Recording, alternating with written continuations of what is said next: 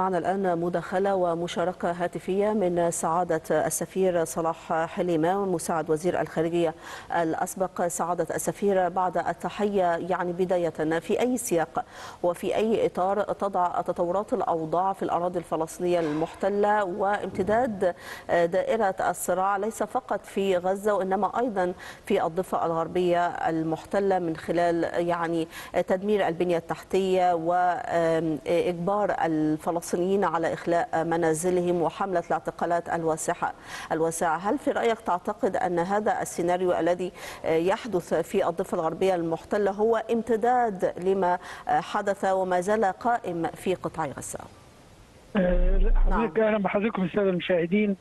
أنا أعتقد يعني الهدف الرئيسي لنتنياهو وحكومته اليمينية المتطرفة هو تفريغ القطاع والضفة من سكانها من خلال السيطرة على الضفة والقطاع جغرافيا وإخلاءها ديموغرافيا وهذا هو الهدف الرئيسي الذي يسعى إليه نتنياهو وحكومته والمتطرفين في الجانب الإسرائيلي بجانب بهدف أساسي وهو تصفية القضية الفلسطينية وليس تسوية القضية. وبالتالي ما يجري في غزة من محاولات للتهجير القسري والإبادة الجماعية والقتل والتدمير وكل هذه الأمور هدفها الرئيسي كما أشرت هو افراغ القطاع من جغرافيا وديموغرافيا بحيث تصبح غزة مثل مثل الضفة الغربية تحت سيطرة إسرائيل وهناك مشروعات خاصة بإقامة مستوطنات وتوجيه مستوطنين للإقامة فيها جاهزة وتم الإعلان عن ذلك صراحة. ما يجري في الضفة الغربية على مدى 75 عاما من من بره أيضا تهجير وهدم منازل وتجريف أراضي وممارسة تفرقه عنصرية وأيضا تمييز عنصري وتهويد للقدس وتهويد الدولة ذاتها. كل هذه الأمور بتعني أيضا ما يمكن نسميه إبادة جماعية وكل هذه الأمور أيضا بتتم في إطار مخالفة للقوانين والمواثيق والاتفاقات الدولية ذات الصلة بما يعني أن إسرائيل دولة مارقة وتمارس إرهاب الدولة. ما يتم في الضفة الغربية الآن وما تم في قطاع غزة هو ارهاب دولة ويؤكد على أن إسرائيل دولة مارقة. هذا على الرغم من أن ما يجري الآن من جانب إسرائيل في الضفة الغربية هو امتداد لما كان قائما. امتداد لأسلوبها القائم على هدم البنية الأساسية وتجريف الأراضي والاستيلاء عليها الممتلكات وتهجير قسري وإبادة جماعية أيضا ولو بشكل غير مباشر. في نفس الوقت المجتمع الدولي وإن كان هناك تأييد كبير للقضية الفلسطينية سواء من خلال مواقف الدول العربية والإسلامية وبعض الدول الأوروبية ومن خلال ما نراه من قرارات في الجمعية العامة للأمم المتحدة وما نراه من ثورات ومظاهرات واحتجاجات من شعوب دول كثيرة وعديدة ومواقف رسمية تغيرت لبعض الدول الأوروبية إلا أن الأمر ما زال في يد نتنياهو بأسلوبه المتعند بهدفه الرئيسي الذي تحدثت عنه مضحيا بالرهائن مضحيا بالرهائن ولا يريد التوصل إلى تسوية لموضوع غزة سواء حتى بمراحل المراحل الأولى أو الثانية أو الثالثة.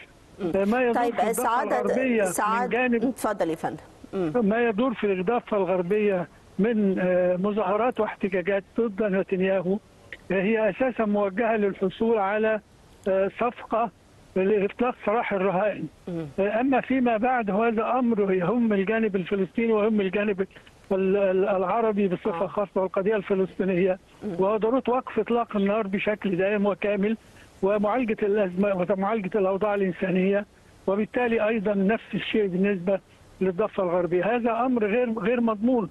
حتى عندما يتم الاتفاق على صفقة في المرحلة الأولى ليس هناك ما يضمن هذا سوى ضرورة أن يلتزم نتنياهو بما بما تقرر في في المقترحات في المراحل يعني لأنه لا. يوجد من يعني يملك القدرة في إلزام إسرائيل أو لا توجد ضمانات حقيقية لإلزام إسرائيل آه، عندما تدخل في أي مسار تفاوضي آه، وخلافه. آه، سعادة السفير يعني فيما يتعلق بمجموعة الاحتجاجات ربما أو التظاهرات في الداخل الإسرائيلي وحركات المعارضة الإسرائيلية التي توجه ضد نتنياهو من أجل الضغط عليه في ملف المحتجزين أو الأسرى الاسرائيليين لدى حماس، هل ترى أن لهذه الحركات الاحتجاجية وقوى المعارضة الإسرائيلية لها أي تأثير ملموس وحقيقي على أرض الواقع؟ يمكن أن تثني بنيامين نتنياهو عن هذه الممارسات أو تجعله يحقق انجازا حقيقيا في ملف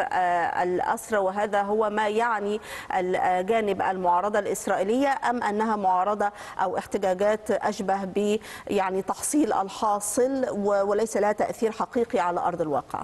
آه، لا شك أنها سيكون لها تأثير لكن لن- يحقق الهدف المنشود آه، الذي تسعى إليه آه، نسعى إليه كأصحاب قضية خاصة الإخوة وخاصة الفلسطينيون أنا أعتقد أنه لابد أن يكون هناك ضغط متنامي ومتصاعد سواء من جانب داخل إسرائيل كما نراه الآن يجب أن يقا- يقابله وي- ويوازله وفي نفس الاتجاه ضغط قوي من جانب دول عربية وإسلامية فاعلة ومؤثرة وليس فقط على نتنياهو وإنما على إسرائيل وإنما بالدرجة الأولى على الولايات المتحدة الأمريكية. لأن هناك هناك تحالف استراتيجي بين الولايات المتحدة الأمريكية وإسرائيل والولايات المتحدة آه، أساسا بجانب بعض الدول الأوروبية مثل ألمانيا. تمثل حاضنة سياسية وعسكرية وأمنية واقتصادية وإعلامية لإسرائيل. هذا الأمر لابد أن يكون هناك ضغوط قوية على الولايات المتحدة الأمريكية وأيضا تحرك إيجابي وفعال من جانب الدول العربية وخاصة دول ذات التأثير. ليس مجرد إعلان ب- بشد. وإدانة آه. وإنما بإجراءات مؤثرة. ونع- وكلمة إجراءات هنا تعني مسألة واضحة. ما هذا صحيح. هذا كلام عميق له مغزى واضح الدلالة لابد أن يكون هناك موقف عربي إسلامي يتضامن مع الموقف اللي موجود في الأمن في الجمعية العامة في مجلس الأمن في دول عربية كثيرة أخرى مع أيضا مع دول العالم صحيح. أيضا مع ثورات الشعوب واحتجاجات الشعوب في كثير من دول العالم ومنظمات إقليمية ودولية.